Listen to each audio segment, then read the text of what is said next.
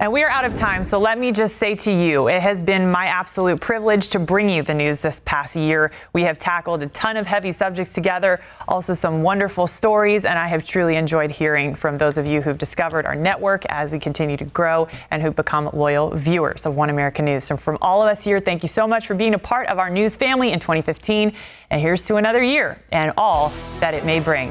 I'm Kathy Leufin, and I will see you in 2016. Thanks for watching.